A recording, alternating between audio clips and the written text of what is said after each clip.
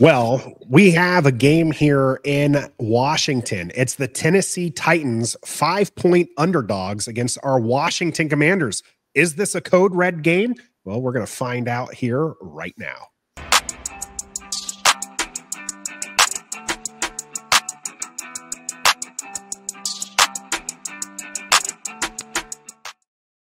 Welcome to episode 201, The Cool Down. Is it going to be a titanic win for the Washington Commanders coming up here? Gregory saying, hey, this is a code red game. We lose this, you can mark it down. We don't even make the playoffs. Do you guys agree that this game, this pivots the season more mm-hmm. so than the Cowboys game? You mm-hmm. lose this one, and you might as well just not win another one the rest of the season. This is well, a I mean, massive game. I don't want to think like you might as well not win because we got to we got to beat the Cowboys whether in the playoffs or not. That's our Super Bowl now. But yeah, it's this is this is a must win game, must win game. So, Doesn't get any bigger than this game. Everything is uh, everything is kind of lining up against you at this point, right? You've lost yeah. three games in a row. Uh, yeah. You're feeling really down about yourselves. You do have that whole tired, and every, a lot of guys are really banged up you're looking forward to the off week the next week, right? That sometimes you can start looking ahead a little bit too much on something like that. But yeah, if you go four losses in a row and two of them are to two really bad teams, really bad teams, then you're going to start losing locker rooms. You're going to start losing all that brotherhood that they talked about. Yeah, this is this couldn't be any bigger of a game. Well, Dan Quinn talked about that a little bit. You know, all that talk is fine and dandy when you're winning. It's really going to matter when you're not winning with a three game losing streak. And the Titans not winning in our poll right now, but they do have 27%, which is significantly higher than quite a few of our other uh, polls that we have. I mentioned Bet Online has them at 5.5 underdogs, the Tennessee Titans. That being said, they were underdogs last week against the Houston Texans in Houston, mm-hmm. and Tennessee won. I know this is a week to week league, and what happened last week doesn't necessarily translate to this week. Yeah. But how does that Tennessee victory feel to you guys going into this game? Uh, my eyebrows are raised. Definitely picked Houston to beat um, the snot out of Tennessee especially since they, you know, had that big offseason addition with L'Jarius Sneed, who we all wanted here as a cornerback, one of the top free agents this past offseason is now in IR. Um, but they went into Houston and beat the team that everybody's saying that we are mocking this year, uh, the Houston Texans. Mm. Very, very shocked. Has my eyebrows raised. Also, not because of that, because of how we've been playing the past few weeks mm-hmm. and how our run defense has been all season long. They have Tony Pollard over there. Some people might laugh at that, but he was a better running back than than Zeke in Dallas, and they kept the wrong one. They let him go and then brought back Zeke. Hmm. Will Levis seems like he's trying to correct his mistakes that he was showing out the first few weeks of the season. He's got a rocket. This Westbrook receiver, he's coming on to this bigger stage now. He's like catching a lot of touchdowns. I don't really know anything about their defense. Since with Sneed out, I think their defense can be had, but it just feels like they could come out and punch us in the mouth and we can make adjustments and, and take over. But I don't want that to happen because, like you said, we get punched in the mouth, we don't react to it until the fourth quarter. And by that time, we're depending on Hail Marys, 86 yard bombs, onside kicks. Hmm. We're depending on all this other stuff and I I'm tired of that identity that we've been showing the past few weeks. Yeah, so Stoner, yeah, get nervous. Yeah, Stoner, I know you have some stats on the defense. I don't know if you want to let those out now. We'll let Trev get his news and notes together for a little TNN oh, yeah. here. So, Trev, why don't you get that? And we'll mm-hmm. hit that a little bit after Stoner gives us some of his numbers on this Tennessee Titans defense, which surprisingly, mm-hmm. pretty strong despite being very mediocre, if not underachieving on points per game, Stoner. Yeah, this defense is legit, legit, legit. Big times. Big time. They are number one, not number two, not number three, not number four. They are number one in the NFL against the pass. So think about that for a second. That's crazy. They are they are number two overall in yards. So they don't give up a lot of yards overall. They're eighth against the rush. Eighth. Now their points per game, they're 27th. So I had to do a deep dive on that, right? And figure out what's going on there. Well, yeah. Will Levis has three pick 6s they mm-hmm. They've given up a blocked punt return for a touchdown. They've given up a punt return for a touchdown. And on they've turned the ball over 21 times. Oh, they, wow. A minus 12 in the turnover margin, right? Which is 31st in the league. 21 giveaways. And on those 21 turnovers, they have uh, the teams have scored points on 12 of those turnovers. Think about that for a second. So that's where the points per game comes in, why they're so low. Three pick sixes from Will Levis this year. Yeah. He's only played in six and a half games, and he's had three pick sixes. You should look at the the Detroit game, what they did against Detroit. Now Detroit's a beast, right? But here's yeah. here's their turnovers against Detroit. Um, interception at their own 23 yard line. Detroit turned that into a touchdown. Uh, interception at their own 33 yard line. Detroit turned that into a touchdown. Detroit had a punt return touchdown. They had a fumble at their own 26 yard line that Detroit turned into a touchdown. and then they had um, another turnover on the other end of the field that didn't get turned into points. But the Lions just absolutely took advantage of every um, mistake that they made on offense. So that their defense is legit. Offense, not so much. Yeah, offense might struggle, but their defense is pretty good. And you know who else is pretty good? Matt here with a 1999 hey. super chat donation. We appreciate you, Matt, and happy Thanksgiving to you too. We'll be talking some Thanksgiving after the little bit here on uh, after the game here is considered. So, Matt, appreciate you, Matt, with that super chat donation. All right, you guys know what time it is. You guys love what time it is. Let's hit that TNN. For all your commanders' news and notes, it's the TNN Here's Trev. I I gotta stop before we get to the TNN, Trev. I just love that everybody loves that intro, and it was totally just a random thing Stoner voiced, and we were looking to replace it, but after having played it a few times, Stoner, I don't think we can. Oh, I think no. Look, TJ Too Nasty said it right when it popped up. Here's, Here's Trev everyone everyone loves that intro, so we we got to keep it. You know, there's no, no nobody's going to replace that. Not AP, not AI. Uh, so Trev, give yeah. us lowdown on your news and notes. Well, the first official injury report came out today for this game on Sunday. Um, I can pretty much say off top of my head the important ones. Zach Ertz, Clelin Ferrell did not practice today; they were uh, resting. Then we have Austin Ekeler and Andrew Wylie, both in concussion protocol, did not practice today. Real quick on the Austin Ekeler note, we might have to find a new kick returner, which sucks because he's been the most productive one we had.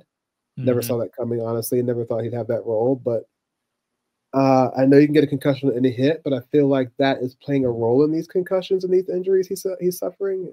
A bigger workload that we've asked him to do by being a kick returner that's just something to keep a watch on if he gets healthy again, if they're going to put him back there or, or not. Uh, Andrew Wylie, no matter how good he's played or not, it sucks. He's in concussion protocol because we don't have a very good depth or deep offensive line. Yeah, we have Trent Scott and Cornelius Lucas, but they are Trent Scott and Cornelius Lucas for a reason. Mm-hmm. So that's a huge blow. But notice I didn't say a certain somebody who was a DNP. A certain somebody is limited today by the name of Marshon Lattimore ladies and gentlemen. He had his helmet on. He was out there doing some individual drills, a little bit of this, a little bit of that. Dan Quinn said it was they are sure glad to have him on the field. I think he's going to get a more rigorous practice tomorrow or something like that. So we'll see how it goes. But he is on the field and he is limited. So that might be pointing to a good sign coming for Sunday. And everyone else who was on there, Noah Igbinoghene, they're all full participants. So nobody really missed any time. I think we're coming, we're pretty healthy right now. But the Austin Ekeler and Andrew Wylie are two huge losses. Oh, B Rob is on there with limited action because he has an ankle injury now. He's got to be so frustrated, man. We really mm. thought that he could thrive in this offense this year and, and be really productive. And when he's healthy, super healthy, he is, but he's been injury plagued all season long, which could kind of further hurt his career that if it goes beyond Washington. You know, he might be looked as an injury plagued kind of guy now, kind mm. of a mm. jag. As Stoner has, to his defense, he said B Rob has been a jag since I don't know where, but I don't know how he mm-hmm. saw that coming, but he did. And yes, our running game is bad, but when he's in there healthy, like I said, it, it's a little bit productive than what it is. So I got to keep an eye out on that. He did say he put strength on that, which surprised him today, but it wasn't a really hard day. It was kind of a light day, but yeah. he's in good spirits. He says he's looking, expecting to play Sunday if all goes well. So we'll see what happens. Um, John Keim said that uh, Bobby Wagner addressed the team today, mm-hmm. and Bobby Wagner came out saying that we got a great team. We just got to go out out there and execute and prove that. We don't have to worry about what people are saying outside or what other people are thinking. Said they'll be fine if they like this. Uh, a little note on that: they are paying attention to what people are saying. I know some people are like, "Oh, I don't watch that. I don't watch that." This team is watching it or hearing it. Um, it's also cool to see Bobby Wagner taking over that leadership role that we expected him to have because years in the past, leaders who we thought we had on the team, we never heard about when we were in a slump. You know, such such spoke to the team, called a player its only meeting or something like that. that uh, you never heard that. This year, you're hearing it, so that's good to know that the locker room is probably where we want it to be. Um, and I agree with Bobby Wagner. If we just execute the game plan, whatever it is, we have a mm-hmm. chance. And I know if we have five back there, we have a chance. But if we have five back there plus the offense that we ran to get us seven and two, we the fraud questions will go away. The rookie of the year questions will go away. We'll be winning. Playoff questions will go away. You know, they'll just be a success. So, a couple key injuries, like I said, with Ekeler and Wylie, and then a good team leadership is, is shown with Bobby Wagner taking over the, the leadership role in the locker room. So, looks like things are trending for Sunday to, to go well. Real quick think, before uh, Stoner, you talk here. Uh, Matt asked about B Rob doing okay. So Trev touched on a little bit. Trev, he's got yeah. an ankle injury, but he said he put on some weight and is pretty optimistic. Yeah, he was limited today. He's pretty optimistic if it all goes well. The rest of the week he'll play on Sunday. So I don't know if it's that's a serious injury, but he so he practiced today. So we'll see. Mm. But he's always injured. Yeah, I think it, I think he's going to play. I don't think. Well, I know Ekeler's not going to play. No, I don't think Wylie's going to play. And of course, um, we didn't mention like Seibert went on the IR. You did mention oh, yeah, yeah. way earlier. He went on IR, so it's going to be uh, uh, Zane. Is it Zane Gonzalez? Zane Gonzalez. Yeah. And Chris Rodriguez. Uh, so Zane Gonzalez, for the record, still on the practice squad. He'll be a practice uh-huh. squad call up, and they can do that because I think they actually have one or maybe two more times with Gonzalez on the practice squad, and yeah. going into the bye week gives you some options as far as that. So signing him to the 53 limits you on your player ability. So they're keeping him there on the practice squad, but we'll call him from the game. St. Gonzalez is there, but they did sign Chris Rodriguez to yeah. the 53 Mm-hmm. They had to, right? Yeah, they they oh. had to. I mean, well, they could sign him to the practice squad. No, I thought he was out of practice squad call ups. So because they released him, they were allowed. They could. Yeah. They couldn't put him back. Yeah, they could put him back on. I don't think they can call him up, but uh the they did put him on the fifty three.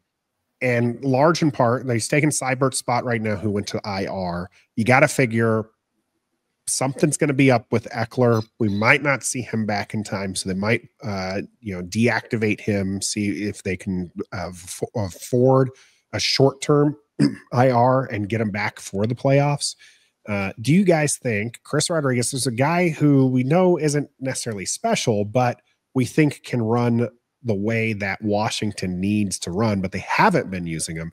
Do you think we're going to see a little bit more of Chris Rodriguez, or is this going to be the McNichols and B Rob show until B Rob has to take a seat? Ooh, if they signed him, it's funny you asked that question because they also brought in two running backs this week for a workout. I forgot to mention James Robinson, former Jaguars running back, and former Eagle standout Boston Scott as well. Mm-hmm. So I don't I don't know how to answer that question. I don't know if, it's going to be one of those cases where they they call him up again and they don't use him, and they just go with Nick McNichols and B Rob, or do all three at this like a running back by committee for all three. I don't know. but they like him obviously to keep letting him go and resigning him and let him go and resigning him. So maybe he gets used more this week. Um, I don't know, but like you said, Nathan, I think this is a huge con- contribution to why we cannot run the ball because we haven't had a consistent running back room since week one or two, pretty much. I called B Rob a jag, right? I mean, C Rod is not even on that level. He's yeah. not even up to jag level. So he's just. he's he's just right. He's, he's a practice squad guy. I mean, well, let's be fair. He is a, he is a guy who's ended up on the practice squad, late yeah. rounder. I'm not I'm not trying to sing his praises so much and think that he is great. Gus Bus saying here that he thinks C Rod's the best natural runner that we have. I do, and and Gregory loves him as well. I do like the one cut style and the power that he uses, which I think would benefit Washington because one of the reasons why this offense is better with B Rob running the ball than Ekeler or McNichols is the power and the decisiveness mm-hmm. to do that. Ekeler's way more of a patient runner, more of that back who's trying to find that open space and yeah, take some yardage there. there. right? He's a space guy. Mm-hmm. McNichols takes a little bit after that as well. Yeah. So the struggles really come from the fact that Washington's trying to do a lot of these inside runs and they can't do it when Brian Robinson's out of the game. So that's why I'm imploring that we see a little bit more of Chris Rodriguez if Brian Robinson cannot go against the Titans. I mean, C Rod to me is you you love him, right? He's just one of those guys. We always love the backups. We always love sure. the guys who are on the practice. James Patterson. Jaret Patterson. Yeah, exactly. You love them until you give them the ball 16 to 18 times in a sure. game, and then all of a sudden you're like, I was about to oh. say, I was going to say why. he really hasn't had a huge workload back there, right? Being a running back, he's a spotty running back to be right. So you see him in spurts, you see him against. Yeah. Uh, you know, backups in the in the preseason. You see him in a mm-hmm. fourth quarter of a game that you're winning by 20, and all of a sudden, like, oh yeah, I like this guy. Well, give him 16 to 18 carries against the Eagles, and you're going to find out why he's been released and cut and signed to the practice yeah. squad, brought up. He's mm-hmm. he's he's fine. He's a body. Sure. And, and he can do, he's capable. Mm. That's what I'll say about him. He's capable. He'll go out there but, and he'll do some things and he'll pick up some blocks, you know, in uh, on but, blitzes and stuff. But you just don't Tennessee ain't game plan Tennessee is no. not still going. Nobody's game planning for, for Chris Rodriguez. His uh, career high in carries, by the way, came this year against the Giants. Eleven carries for fifty-two yards. Oh, is he's running at a four-three average this year, and last year he ran at a four-eight average. Although that is filled with several games like against Arizona, where it was three rushes, seven yards um, that might not have looked so good, or against the Rams, 10 rushes for 35 yards. So it's kind of where you're coming for at Stoner, right? Like giving them those extra carries might not necessarily prove to be extra yards, but it is something Washington needs to get back to and getting that time of possession. What else does Washington have to do against this strong Tennessee defense, which we've had challenges like this before for Washington. Right. They've gone up against tough defenses and they've managed to put up points. Can they do it again? What do what does Kliff Kingsbury need to do? Because we've talked a little bit about his his dipping stoner. I don't know if you want to talk about it now, but this offense seems to be kind of stagnant right now. We talked about how it went from prolific to middle of the pack. What needs to happen to change things up? Well, listen, they absolutely. I think Trev's making the motion is that the open open up the offense. Mm-hmm. Yeah, absolutely.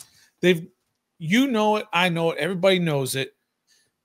Your best weapon is Jayden Daniels. If you, a lot of people will say, "Get Terry the ball more," fine, but your best weapon is Jayden Daniels, and the best part of your best weapon are his legs.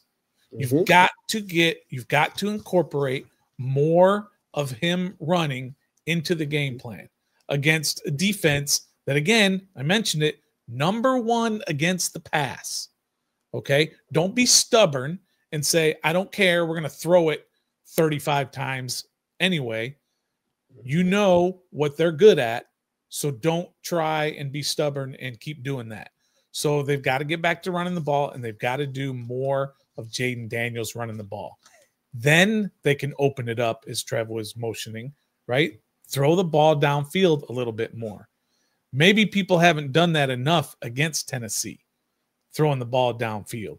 Maybe they haven't tried that enough. And so I think that's the best way to attack this defense because they are awfully good at what they do uh, against the pass. So they've got, so Washington needs to run the ball more. And even with all the struggles that we talk about with the rushing attack for Washington, they're still fifth in the league in running the ball. They're still the fifth best rushing team in the entire That's NFL. The biggest reason, though, Trev, is not B Rob. It's not uh, Austin Ekeler. It's because you're getting all those yards from your quarterback. 556. He's our leading rusher. He's the leading rusher on this team.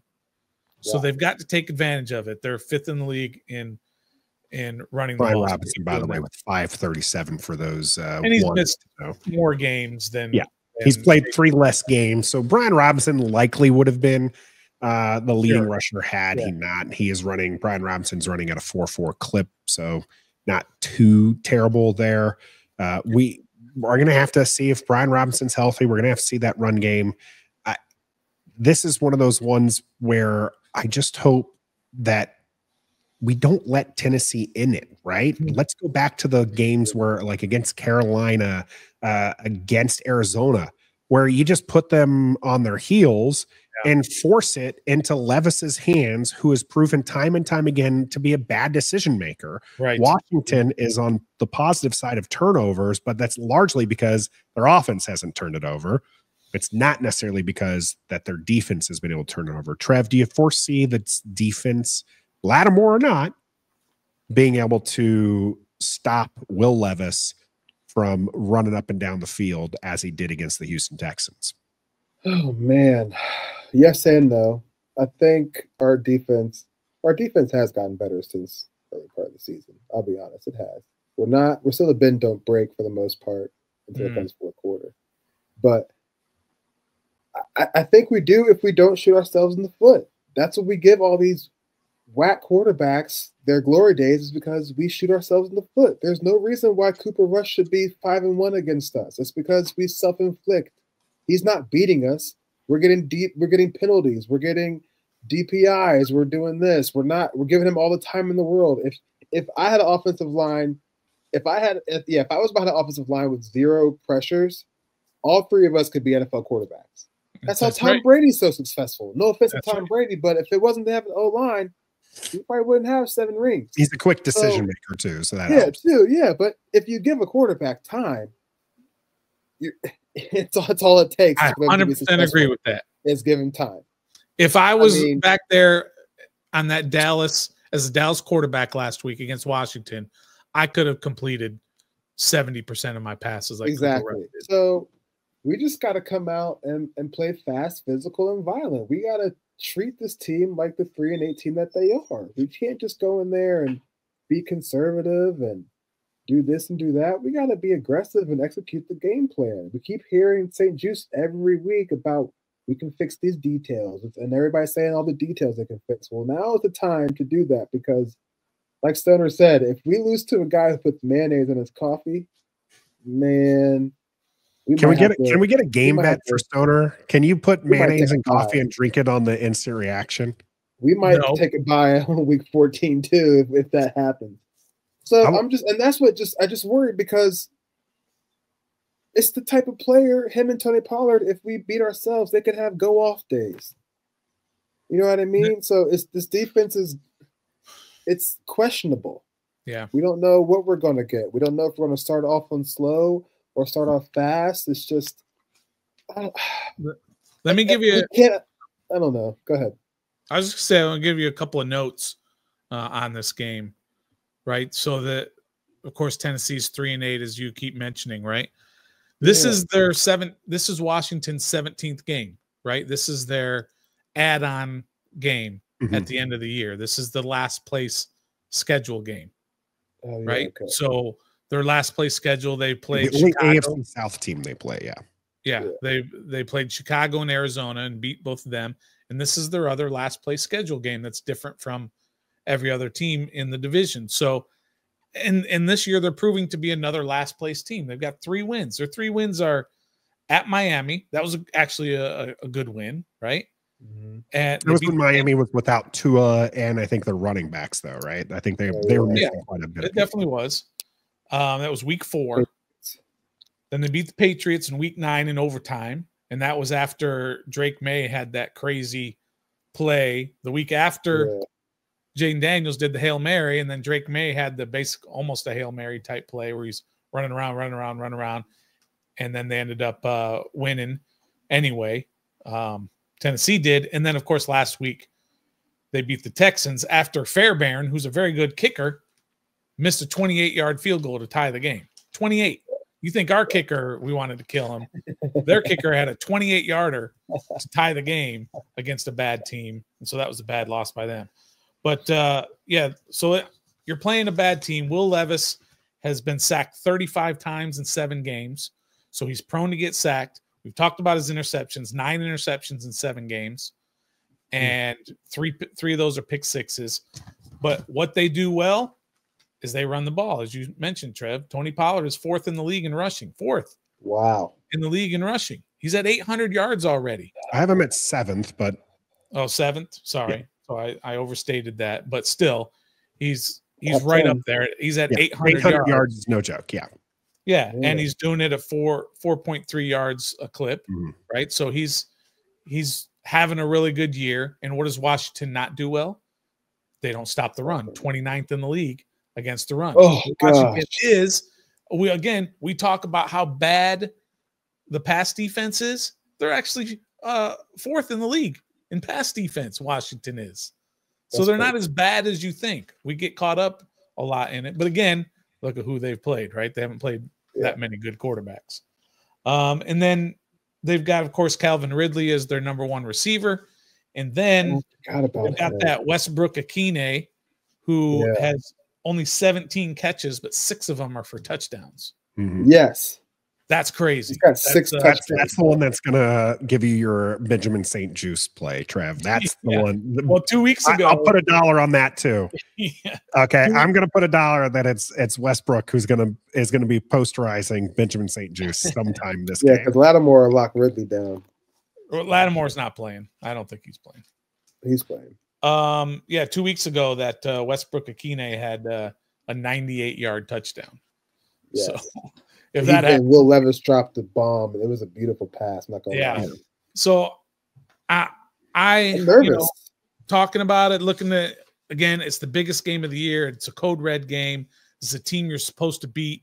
Your entire season rides on this. You can't go into the bye with four straight losses, sitting at seven and six, and all of that. Mm-hmm. You absolutely have to. This is a desperate team right now.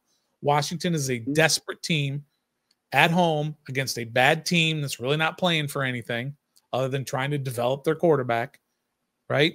And mm-hmm. uh, so, having thought about it, I think it is one of those games where if Washington loses, I will drink coffee with a dollop of mayonnaise in it because no, it ain't happening. Because that's like the grossest thing ever. Washington is not losing this game. I'm even going to give my score prediction right now. Washington okay. wins the game uh, fairly easily. This is one of those games like last week. I told y'all they're not blowing Dallas out. Sure. I said that uh, that's not going to happen, right?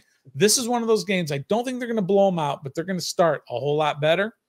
And it's going to be kind of a cruise game, not a cruise game, kind of. So they're going to be up by 10, 11, 12 points most of the game and then they finished the game winning the game 27 22, just like they did against the Giants.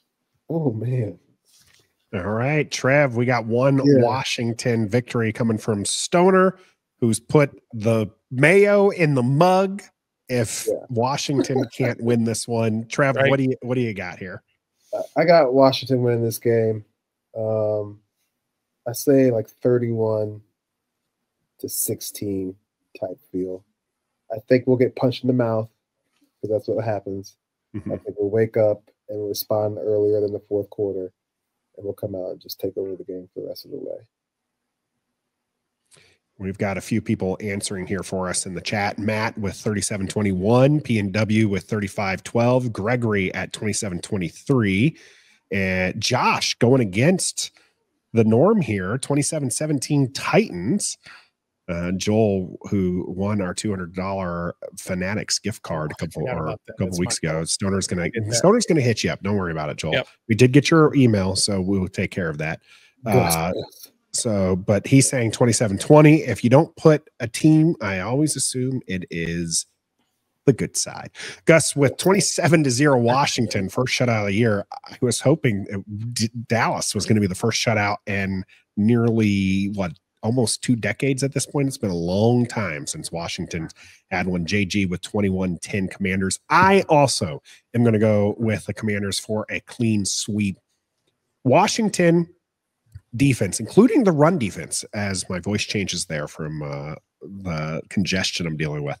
The w- Washington's rush defense actually hasn't been bad through three quarters. Now the question is, can they mm. stay good in the fourth quarter?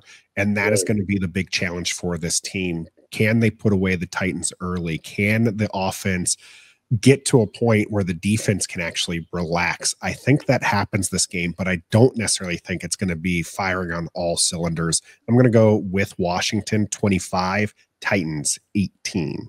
Mm. Mm. That's an odd score. All right. I like yeah, it. I'm predicting a lot of field goals from Washington, stalling out against a good defense.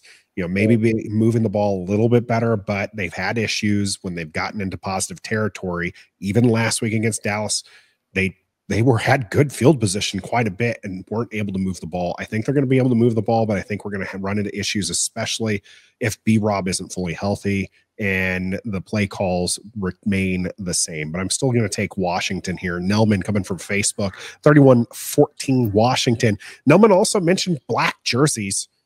Uh, we broke the curse against the Chicago Bears, so I don't want to hear any of that mess when it comes to it. But mm-hmm. hopefully, when you join us and join that conversation on our instant reaction after the game, we will have something good. Stoner won't have to drink mayonnaise coffee. I'll be back in a onesie after what three, four weeks now. So hopefully yeah. that is there. So we will be live, as I said, right after the game. Join the conversation right here on YouTube and Facebook. We appreciate everybody jumping out for that.